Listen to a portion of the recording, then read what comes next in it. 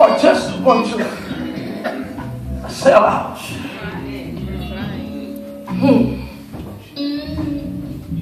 Whenever trials and tribulations begin to come, for whatever reason, I used to find myself wanting to drift to an illness, sickness, that's known as sellout syndrome.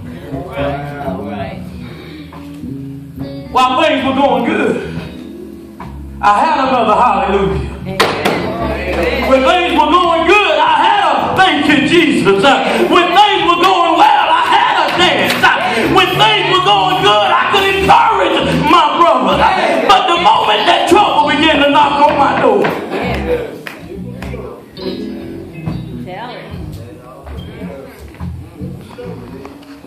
Can't get no help. Ask for. Need some scripture to back it up. It says that the enemy will come in like a flood.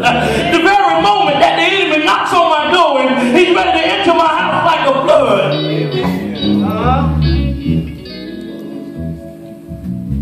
He knocks on the door and he poses the question, Are you a disciple? I, I, wish I just had me about five disciples in the building. Are, are you really a disciple? Are you someone that gets up with Christ and lays down with Christ? Are you someone that follows Christ in the valley and follows him on the mountaintop? Are you someone that's emphatically made up in your mind for Christ I live? Yeah. For Christ I die. Where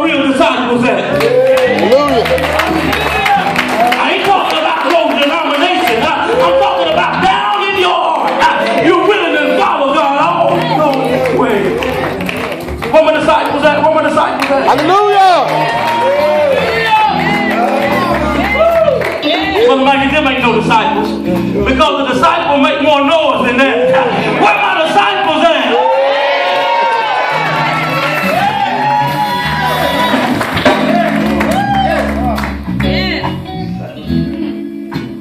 So now the enemy is knocking on our door.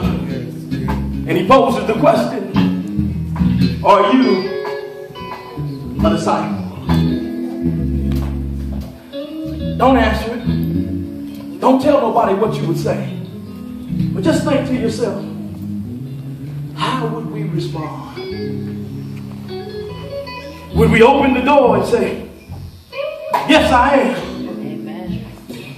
Or would we open the door and say, No, I know him not?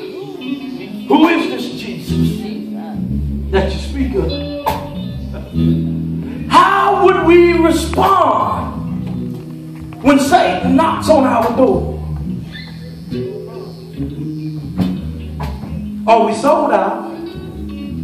Or are we just a bunch of sellouts?